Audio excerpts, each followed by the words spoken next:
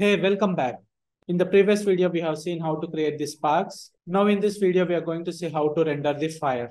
So now we'll go to this out section. So if you click on this and here we can go to this out and now here we'll create a mantra node. So just take a mantra node and now in order to render first, we need to create a camera. So just I will go to the object level. So just go to this object level and now we have to create the camera. So in order to create the camera here, we can click on this camera. So now if you want to create the camera on this view here, we need to control left click so that now it will create the camera on the same position. And now in order to change the positions of this camera, we can go to this camera tool and here make sure we need to lock this thing. So what the thing is whenever we change the angle, it will change the positions of the camera too. So after setting this angle, uh, now just will unlock this camera so that now by mistake we will not able to change the positions of the camera here. So if you want to go to the camera view, now if you click on this and if you click on this camera, now it will go to the camera view here.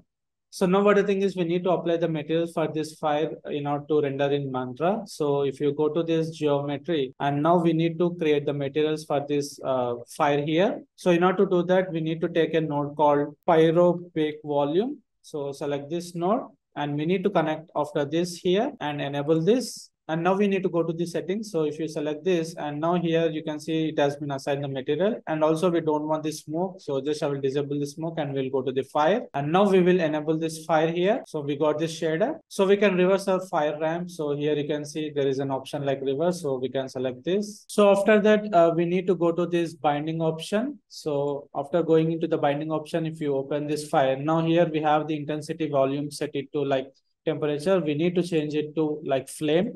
So now we will get the actual flame material. And for color volume, we need to select it to flame. And now the intensity of the fire is more. So we need to decrease that. So we need to go to this fire tab and we can see there is an option like intensity scale. Just we need to decrease the intensity. And also just we'll adjust the ramp here. So just uh, let's say we'll set, okay. So now we got actual flame look. So if you want to increase, just we can increase this. And now I will set the display flag to this mesh here. And now we need to render this once. So in order to do that, we need to go to this render view. And here we need to change the camera. So we have created one camera. So we need to select that. So object cam one. And also here the render node has been set to mantra. And now we need to click on this render so that we can render the file here. So just we can click on this render. And now the fire has been rendered. We got this nice flame. And now what the thing is the spark shader is not correct. Uh, so we need to adjust this. So we need to go to this like matnet. So double click. So here, if you select this node here, I will change the base color to white. So now we are getting that spark render here. And also here we have an option called interactive means like whenever we change like any settings automatically it will start render. So if you don't want to do that, we can click on this. So we can change the values and laterally we can click on this render.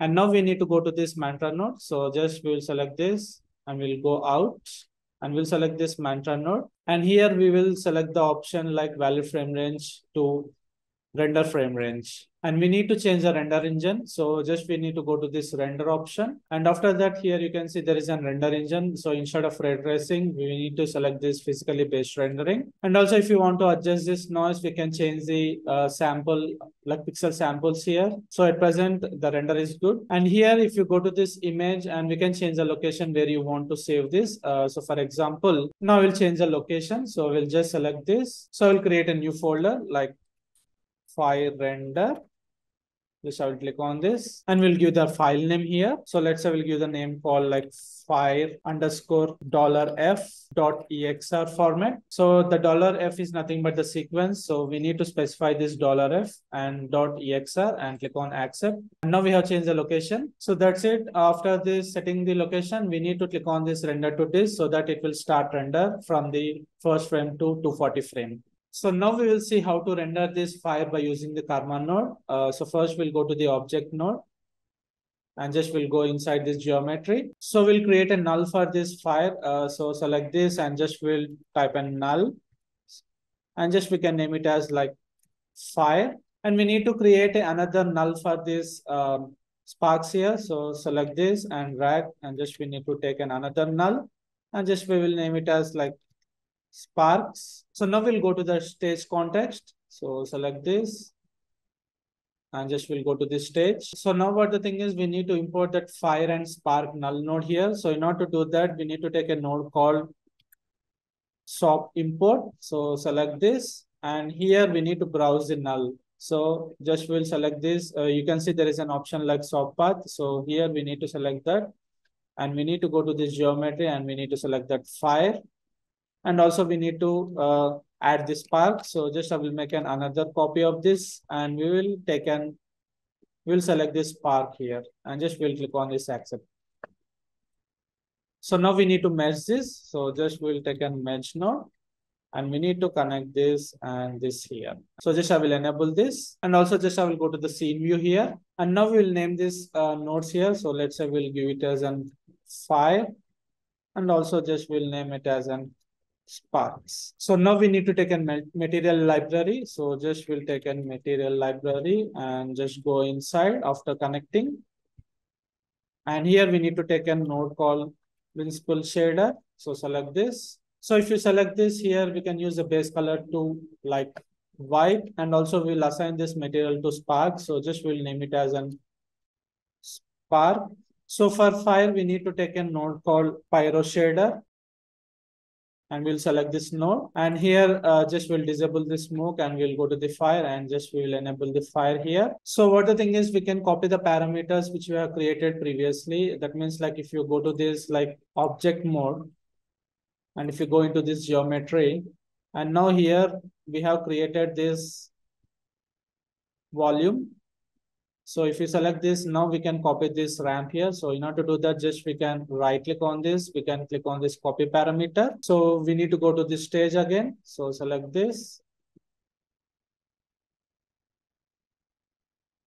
And into the material library. And if you select this now, and here you can see the ramp. So just right click, paste relative reference.